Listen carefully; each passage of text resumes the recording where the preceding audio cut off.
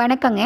Welcome to அறுசுவை அரிசில் நம்ம இன்னைக்கு அறுசுவை அரிசியில் ஆரோக்கியமான சுலபமாக செய்யக்கூடிய சாம அரிசி வச்சு கார கொழுக்கட்டை எப்படி செய்கிறதுன்னு தான் பார்க்க போகிறோங்க நான் இந்த வீடியோவில் உடனே செய்யக்கூடிய ரெடிமிக்ஸ் ரெசிப்பியும் ரெசிபியும் சொல்லியிருக்கேன். கண்டிப்பாக உங்களுக்கு பயனுள்ளதாக இருக்கும். கொஞ்சம் கூட ஸ்கிப் பண்ணாமல் பாருங்கள் வீடியோக்குள்ளே போகிறதுக்கு முன்னாடி நம்மளோட சேனலை இதுவரை சப்ஸ்கிரைப் பண்ணாமல் இருந்தீங்கன்னா சப்ஸ்கிரைப் பண்ணிக்கோங்க. உங்கள் ஃப்ரெண்ட்ஸ் கூடயும் ஷேர் பண்ணிக்கோங்க. வாங்க வீடியோக்குள்ளே போகலாம்.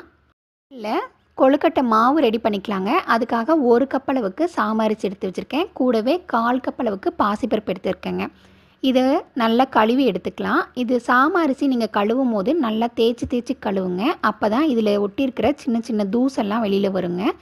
எப்போவுமே மில்லட்ஸ் வந்து நல்லா தேய்ச்சி தேய்ச்சி கழுவணும். இந்த மாதிரி கழுவிட்டு இதை நல்லா வடிகட்டி வச்சுக்கோங்க. இந்த மாதிரி கொஞ்சம் கூட தண்ணி இல்லாமல் வடிகட்டிருங்க.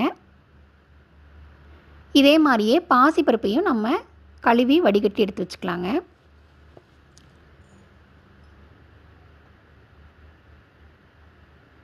அவ்வளோதாங்க. ரெண்டையும் நல்லா தண்ணி இல்லாமல் வடிகட்டி எடுத்து வச்சாச்சு.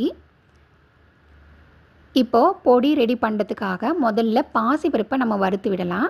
பாசிப்பருப்பு வறுக்கும் போது லோ ஃப்ளேமில் வச்சு வறுத்து விடுங்க. பாசிப்பருப்போட நிறம் மாற அளவுக்கு வறுத்து விடணுங்க. கொஞ்சம் கூட ஹை ஃப்ளேம் வச்சிட்டிங்க அப்படின்னா கருகி போயிடும். உங்களுக்கு கொழுக்கட்டை ஸ்மெல் மாறி போயிடுங்க. அவ்வளோதான். இந்த மாதிரி நிறத்துக்கு வந்ததுக்கப்புறம் நம்ம வெளியில் எடுத்து வச்சு ஆற விடலாம். இப்போ அதே வானலில் அரிசியையும் நம்ம வறுத்து விட்டுக்கலாம். இந்த அரிசி வந்து நீங்கள் ரொம்ப நேரம் வறுக்க தேவையில்லை. ஒரு அஞ்சு நிமிஷத்துக்கு வறுத்து விட்டால் போதும். லோ ஃப்ளேம்லேயே வச்சு வறுத்து விடுங்க. அரிசி தீஞ்சு போயிடக்கூடாதுங்க. இந்த மாதிரி தனித்தனியாக வர அளவுக்கு இருக்கணும். இந்த அளவுக்கு வறுத்து விட்டால் போதும். இப்போ இதையும் வெளியில் எடுத்து வச்சு ஆற விடுங்க. ரெண்டுமே நல்லா ஆறி வந்துருச்சுங்க. இந்த மாதிரி நல்லா ஆறி இருக்கணும். இதை மிக்ஸி ஜாருக்கு மாற்றி அரைச்சி எடுத்துக்கலாம். அரைக்கும் போது முதல்ல பாசிப்பருப்பை அரைச்சி எடுத்துகிட்டு வந்துடலாம். கொஞ்சம் கொரகொரப்பாக அரைச்சி எடுத்துக்கோங்க. இப்போ நம்ம சாம அரிசி வச்சுருக்கோம்ல அந்த பதத்துக்கு இருக்க மாதிரி அரைச்சி எடுத்துக்கோங்க. ஏன்னா ரெண்டுமே ஒரே மாதிரி இருக்கணும். அந்த சமயத்தில் இப்போ ரெண்டையும் ஒட்டுக்கா சேர்த்து அரைச்சி எடுத்துக்கோங்க. இது வந்து நல்ல நைஸாலாம் அரைச்சி எடுக்கக்கூடாதுங்க. நம்ம புட்டு மாவுக்கு ரெடி பண்ணுற மாதிரி கொஞ்சம் திரி திரியாக இருக்கிற மாதிரி அரைச்சி எடுத்துக்கணும். அவ்வளோதாங்க நம்மளோட இன்ஸ்டன்ட் மிக்ஸு கொழுக்கட்டை இன்ஸ்டன்ட் மிக்ஸு ரெடி ஆகிடுச்சி இப்போது கொழுக்கட்டை எப்படி செய்கிறதுன்னு பார்க்கலாங்க. இதுக்காக ரெண்டு டீஸ்பூன் எண்ணெயை சூடுபடுத்தினதுக்கு அப்புறம் கடலப்பருப்பு சீரகம் கடுகு கூடவே பொடியாக நறுக்கின ரெண்டு பச்சை மிளகாய் பொடியாக நறுக்கின இஞ்சி இது எல்லாத்தையும் போட்டு தாளித்து விட்டுக்கலாம்.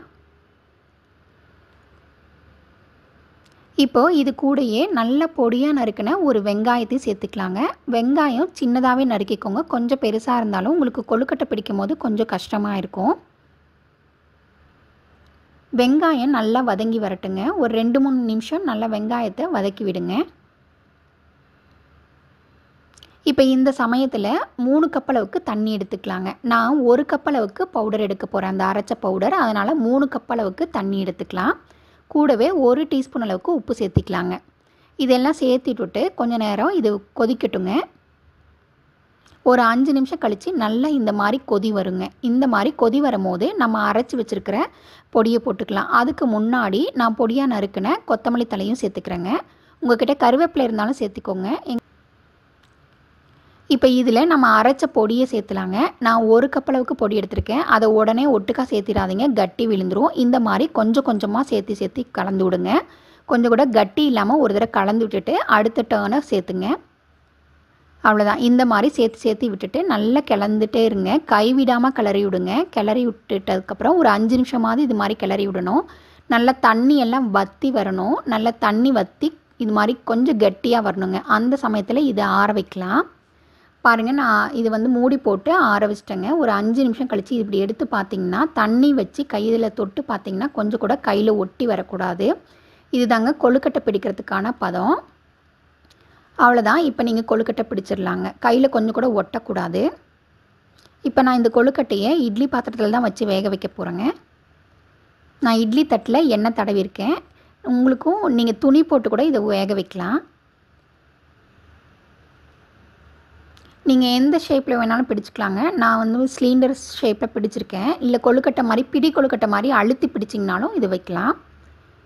இப்போ இட்லி பாத்திரத்தில் நான் ஏற்கனவே தண்ணி ஊற்றி நல்லா கொதிக்க வச்சுருக்கேங்க. இந்த மாதிரி வச்சுருந்தீங்கன்னா மட்டும்தான் நீங்கள் பத்து நிமிஷம் வேக விடணும்.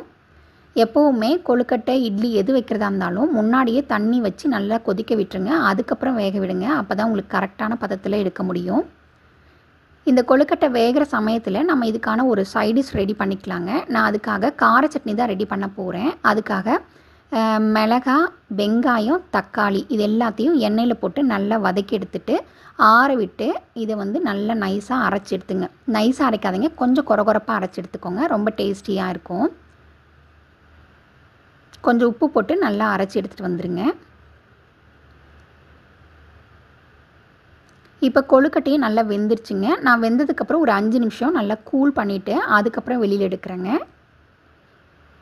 அவ்வளோதான் நம்மளோட கார கொழுக்கட்டை சூப்பராக ரெடி ஆகிடுச்சுங்க இதை நீங்களும் உங்கள் வீட்டில் செஞ்சு பாருங்கள் இது கூட கார சட்னி வச்சு சாப்பிட்டிங்கன்னா செம்மையாக இருக்கும். நீங்கள் ட்ரை பண்ணி பாருங்கள் எப்படி இருந்ததுன்னு சொல்லி கமெண்ட்டில் தெரியப்படுத்துங்க. தேங்க்யூ